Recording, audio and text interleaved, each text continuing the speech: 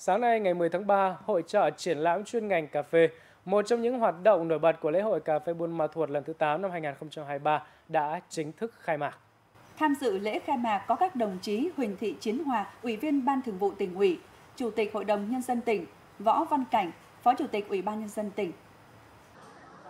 Hội trợ triển lãm chuyên ngành cà phê tại lễ hội cà phê Buôn Ma Thuột lần thứ 8 năm 2023 diễn ra từ ngày 10 tháng 3 đến ngày 14 tháng 3 năm 2023, có quy mô 400 gian hàng với 150 doanh nghiệp tham gia, trong đó có 8 doanh nghiệp nước ngoài và 32 gian hàng.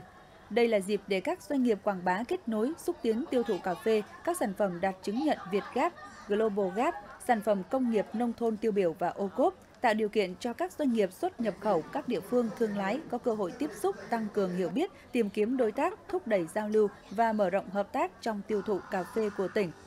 Phát biểu tại lễ khai mạc, đồng chí Võ Văn Cảnh, Phó Chủ tịch Ủy ban nhân dân tỉnh nhấn mạnh, hội trợ là một trong những hoạt động chính của lễ hội cà phê Buôn Ma Thuột lần thứ 8 năm 2023 nhằm quảng bá thương hiệu cà phê Buôn Ma Thuột, phát triển cà phê đặc sản Việt Nam, từng bước đưa Buôn Ma Thuột trở thành điểm đến của cà phê thế giới. Đồng chí mong rằng thông qua hội trợ sẽ thúc đẩy giao lưu hợp tác giữa các nhà sản xuất kinh doanh, mở rộng thị trường xuất khẩu nội địa, thiết lập thị trường tiêu thụ ổn định đối với ngành hàng cà phê Việt Nam.